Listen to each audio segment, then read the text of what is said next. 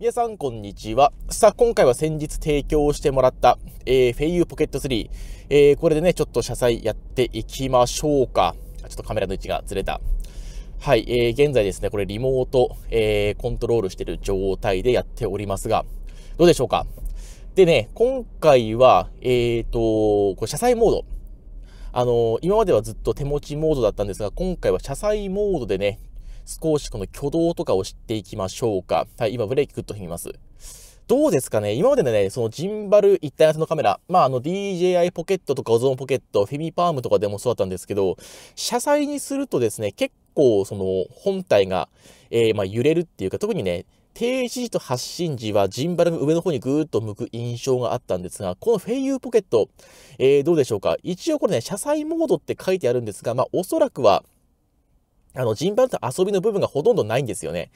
で、前に進んだら、こう、ちょっと上に行ってすぐ戻るみたいな感じの挙動だったんで、まあ多分ね、こっちの方が車載ではね、これ安定するかもしんないですね。そして皆さんこれ左手、えー、ご覧ください。これわかりますかね？あの、桜がね、えー、本来であったらこれ、えー、咲いてるんですけども、あの、雨が降ってきまして、残念ながらね、あの、ちょっとこの桜撮ろうかと思ったんですけども、できなくてね、途中で逃げ帰ってきました。いやー、ちょっとこれ悔しいな。本当はね、この辺の桜を撮りつつ、あの、今日の目的としては、来週旅行にね、また行きますので、その機材の選定とかセッティングをここで全部行いたかったんですけど、まあ、ちょっとこの天気だったら厳しいかなと。はい。ということで途中で、えー、ね、帰ってきました。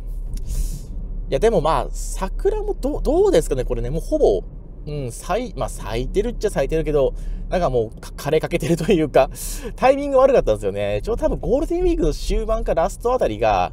こっち行って桜の開花だったんで、そのくらいに行けばよかったんですけども、その時も全然僕バタバタで、えー、全くね、外に出れる状態じゃなかったんで、で、ようやく今、今頃になって、暇になって外出てみたらもうほとんど桜っちゅう桜は なくなっておりました。お、ちょうどいいですね。こう、坂道でなおかつ結構ガタガタ道が続くんで、このフェイユーポケット3の、えー、このね、車でのこのブレの、えー、補正の強さっていうところを見れるかと思います。さあ、こっからですよ。どうですか？だいぶ車が今傾斜してますけど、しっかりね、これ前を、えー、捉えているでしょうか？で、カメラ自体が非常にこれコンパクトなんで、取り付けはね、めちゃくちゃ、えー、楽ですね。特に、あのー、今までの、えー、まあ、フィミパームをえー、DJI ポケットもそうなんですけど、やっぱ本体縦長じゃないですか。縦長なんで、その縦長のカメラを、このね、車の狭いダッシュボードのところに設置するかっていうのは結構悩みの種だったんですが、まあ、これはもう本体完全に分離できて、もう GoPro よりかちっちゃいかな、全体的には。はい。ぐらいなんで、全然ね、車の中に置くのは、うん、苦じゃありませんね。しかも、画角が広いですから、な個人的には、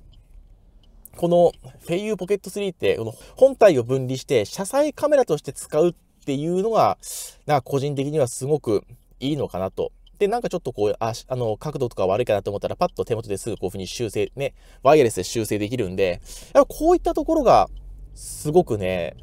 うん、いいんじゃないかなって思います。まあ別に車載用のカメラだったら GoPro でも同じようなことできますし、なんだったら多分 GoPro の方が手ブレ補正は、まあ、強いと思うんですが、ただね、GoPro1 点だけ弱点がありまして、こういう微妙な天気なんですよ。で、今もうだいぶ雲が広がってきて、さっきパラパラ雨も降ってきましたけど、これからますます暗くなるんですよね。そうすると GoPro はもう途端にね、絵が破綻、まあ破綻はしないですけど、そのノイズがガンガン出てきて、で、さらにあの、夕方以降になってくると、もう電子手ブレ補正も効かなくなって、まあずっとガタガタ映像になってしまうっていうね、問題があったんですが、多分この Feiyu Pocket であれば、少なくとも GoPro よりかは、はい、手ブレ補正が、えー、効きます。まあアナログのジンバルなんでね、効きますし、まあ、まだまだこう、高解像感は保っていられるのかなと。まあもちろん、ね、その DJI ポケットとかに比べると、ああ、ちょっと弱いかなっていうところはあるんですけど、うん、車載とかでの運用って限定すると、これもしかしたら今のところ一番いいカメラに、えー、なれるんじゃないかなって僕はちょっと思ってます。まあ、それを今調べるためにもやってるんですけども、どうでしょうかね。まあ、こう手元でパパッと遠隔でコントロールできるっていう、まあ、利便性と、で、やっぱ価格が広い。で、ジンバル付き。そう暗所にも多少は、え、強いっていうねところがあるんでなんかね、いいんじゃないかなって僕は思ってるんですけど、あとはジンバル時代の挙動ですかね。なんかちょっとこのね、フェイユーポケット3、最初にその車が発進する前に、えー、決めた位置、ジンバルのね、位置がなんかずれんですよね。ドリフトってほどひどいもんじゃないと思うんですけど、なんかずれてませんかね。気のせいかなうーん。で、またなんかちょっと今、不具合で、勝手にジンバルのモードが変わりました あこの辺は多分、ファームウェアの調整不足でしょうかね。なんか知んないですけど、今一瞬ね、画面が今、あの、チカチカってなった後に、モードが勝手に変わったりとか、今まあ手動で戻しましたけど、っていうことが、えー、あるんで、ここはちょっとよろしくないかな。安定感がまだ 足りないかもしれないですね。はい、録画を再開します。えー、さっきですね、なんと手元のコントローラーの電源が突然落ちました で、一回ちょっと車止めてですね、えー、どっちも再起動をして、再接続して、まあ、また繋がったんですけど、まあ、なんかちょっとこの辺がまだ、うーん、不安定なところがありますかね。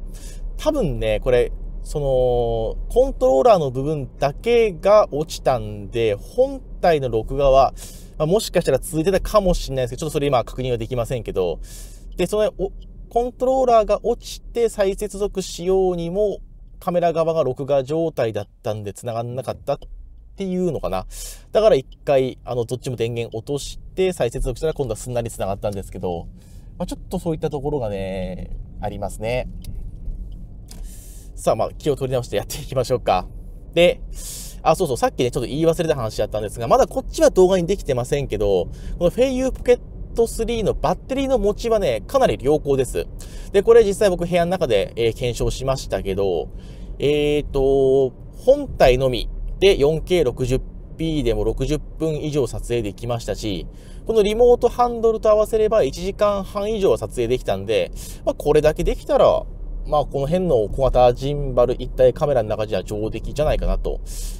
で、まあ、比較しようにもね、今僕手元にあるね、DJI Pocket 2もこれは発売して2年経ってかなり酷使してるんで、まあ、相当バッテリーがね、下手ってんですよ。だから、普通に 4K の 30p で撮っても、なんかもう30分くらいで電源落ちちゃうんで、ちょっとこれは参考にならないですね。うん。多分 GoPro よりかはね、長持ち、えー、しました。あと熱に関しても、そんなこれ本体、あのー、最後バッテリー尽きるまで、4K60p でバッテリーが尽きるまでやってましたけど、そこまで本体熱くなってなかったんで、まあ、そんなそんな熱に関しては、まあ、気にするほどでもないのかな。まあ、あのー、まだ今の時期が時期っていうかね、ちょっと僕の住んでる時期、今ね、すごい気温が低いっていうか、今外の気温が、えー、9度しかないんで、